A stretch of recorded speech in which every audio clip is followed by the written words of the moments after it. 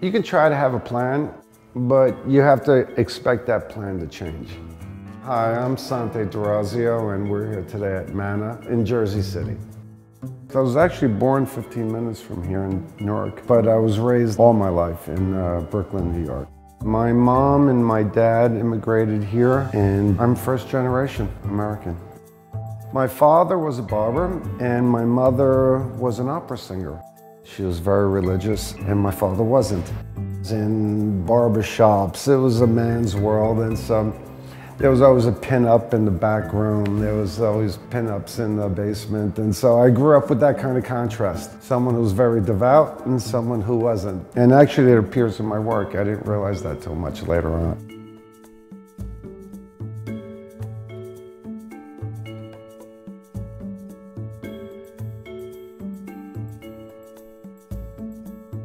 Lou Bernstein was a photographer of the New York School and they found things.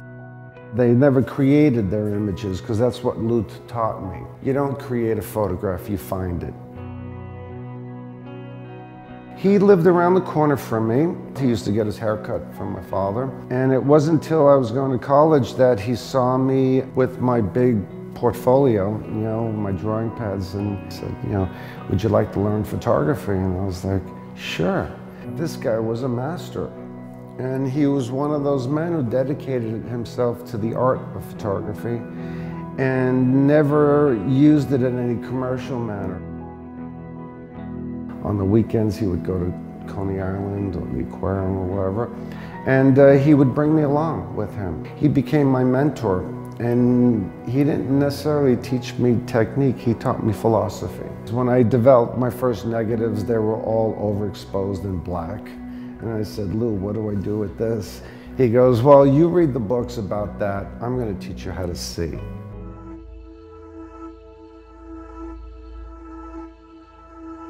The commercial field is basically following other people's direction, other people's opinions, um, bending your own rules to suit them, second guessing yourself too as to what they would want. As opposed to somebody like me who's always trying to get something more original, it's like they're like, what for? We're already giving you the image. Just copy it. But I can't do that. So I'd go nuts. Most of my career I went nuts. I was a part of documenting that whole um, supermodel era for sure. People have told me that I was the only one who truly documented that time. And I, yeah, there's some truth to it. In 81, I got my first job. By 83, I got hired by Andy Warhol at Interview. I would go out at night as one of the cute boys of his entourage, because I was cute back then. and I remember being in, in Rome for the collections back around 85 or so. And this young, beautiful, beautiful young girl was one of the models and her, she was 14 years old, her name was Christy Turlington. And I befriended her and then there was another friend, her name was Naomi Campbell at 15 years old. I was a man about town at 26 years old. By the ages of 17 and 18, they, know, they had known me very well and always trusted me, and I was always a gentleman with them. And to the point where even Eileen Ford would only let Christy out with me. Mm, big mistake. Because I would be going out to the best clubs and I'd be taking Christy with me. And these girls would basically, by age of 19, 20, would come over in the winter at my house and my mother would make them all pasta. I was basically their protector and guardian and guide through the underworld. Most of the pictures that are in my books and the pictures that have now become very collectible are all rejects of commercial shots. See, because the commercial people were looking for something else. At lunch or right after, I would take the girl and do my picture on her, even if I only had 15 minutes. I, I grew up as a painter, and so I always missed the act of making a mark my hand. I was taking a lot of images that I had never printed and I would never compromise my subjects no matter what. I started scratching out everybody's face you know, which is actually quite common. When you go walk around the street, you see posters, either somebody puts a mustache on a girl or they scratch out their face. And so I used that device and I found that the pictures became better. It abstracted the, sub, the subject. It was no longer, oh, that's Cindy Crawford. Oh, it's Kate Moss. Uh, people were able to look at the composition. There was mystery. The curator by the name of Neville Wakefield invited a whole group of artists to do a porn in their own style. My thing is that porn is the new pop. You know, as Coca-Cola was for Andy Warhol, porn is for us. What I did was I applied the scratching out to the porn. So I wasn't about to film a porn, so I found a 70s porn. And I scratched out everybody's face and their privates, 24 frames a second. Took like five months to do 10 minutes. And so what happens is when the film is moving, all these marks, every, no two marks are the same, so they're jumping around. And so really what you have is a moving abstract film. And the background is porn.